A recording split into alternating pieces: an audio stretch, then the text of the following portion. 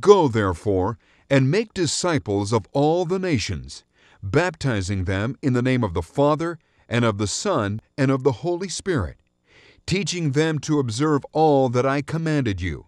And lo, I am with you always, even to the end of the age. According to Matthew chapter 28, verses 19 through 20, these were the last words of Jesus Christ to his disciples before ascending into heaven. This is also known as the Great Commission, Jesus' final instruction to his followers to go out into the world and teach the Word of God. For John Hopler and the members of Great Commission churches, these words are their life's mission. The Great Commission churches is all about the good news of Jesus Christ, that He's the Son of God, that He came to die on the cross for our sins, that He was raised the third day, and that He's coming back again, and that all who believe in Him receive the gift of eternal life. Our desire is to see this message go out to the entire world, and we do this by planting churches and raising up pastors to go plant more churches. At the Pastors and Leaders Conference in Lake of the Ozarks, Missouri, around 400 leaders have come together to learn from each other and discuss God's message.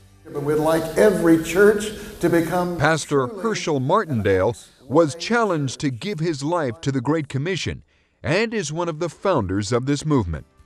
It was at a pastor's conference in Houston, Texas, with Dr. Bill Bright, founder of Campus Crusade for Christ, that I heard him say, You need to have a personal commitment and a strategy to be a part of reaching this world with the gospel of Jesus Christ in this generation. Later on that same day, we had a little break, and Dr. Bright came to a table where we were having coffee, and he said, I have two questions to ask you. The first is this Do you really believe that God wants you to be a part of reaching this world with the gospel in this generation? I was hesitant, but each of us said yes. Then he said, The second question is this If all Christians are doing what you're doing, will the world be reached with the gospel in this generation? That challenge and those questions changed my life. Our motto is New Testament Christianity in Action Today. And one of the uniquenesses is our plurality of leadership. In almost all of our churches, we have at least two or three pastors co equally leading together.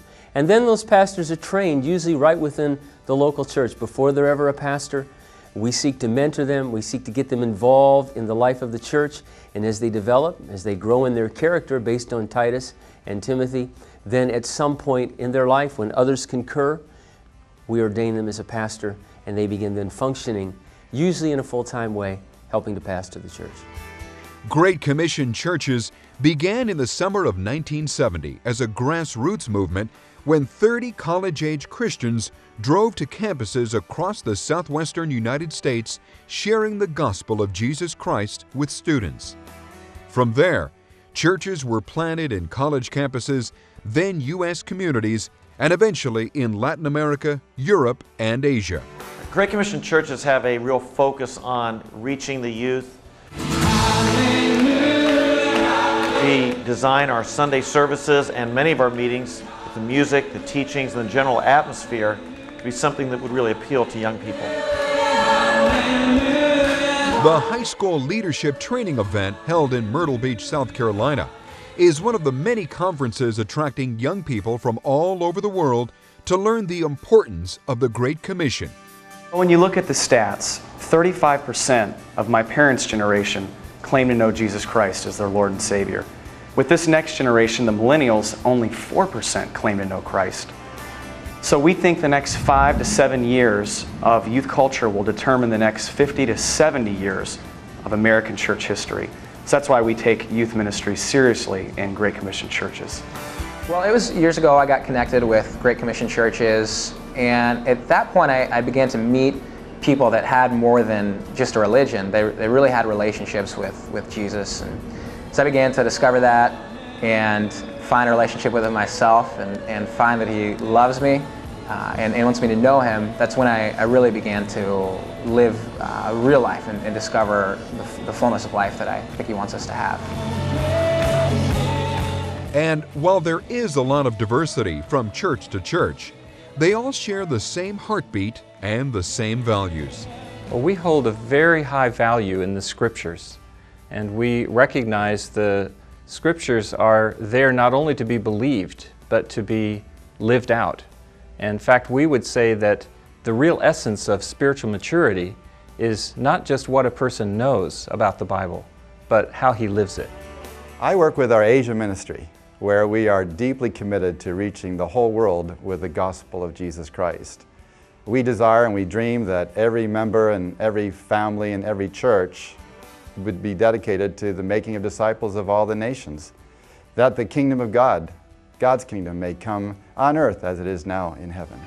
We believe the local church is God's vehicle for reaching the world with the gospel of Jesus Christ.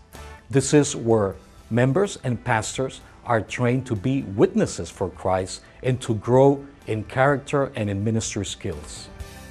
I have been accepted into an amazing community um, filled with people who accept people from all different backgrounds and histories and um, who have really displayed the love of Christ.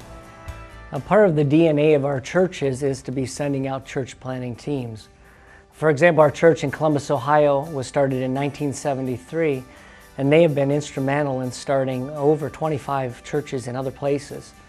Uh, now, in our church in West Virginia, we have a plan to plant churches throughout the state of West Virginia so that we might spread the gospel to more and more people. The Great Commission churches partner with other worldwide ministries in order to fulfill their God given mission. Bill Bright said before he died, let's put away our logos and our egos to make Jesus Christ number one. We agree.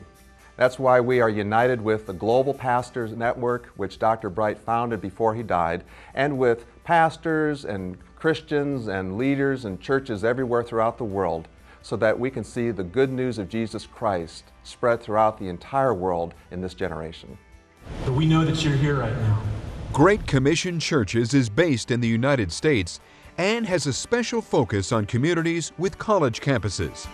In addition, GCC partners with churches in Canada, Europe, Asia, and Latin America. If you would like more information on Great Commission churches and to find out how you can become involved in carrying out God's mission to the world, call 1 740 964 1002 or visit Great Commission Church's website at www.gccweb.org.